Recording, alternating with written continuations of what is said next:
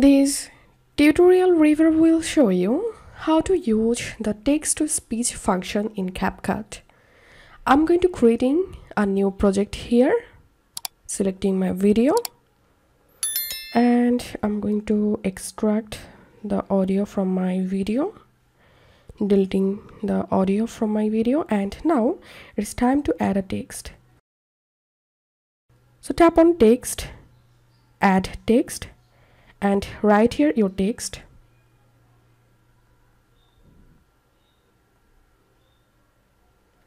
You can change the text from here. Once done you can change the size of the text. You can change the position. And now select the text and here you will get text to speech option. So tap on that. Now here you will get lots of voice effects tap the voice and This is my favorite dance. from here you can change This is my favorite dance. from here you can change the voice This is my favorite dance. This is my favorite dance.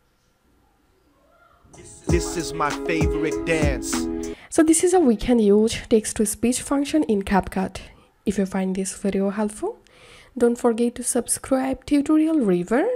See you in the next video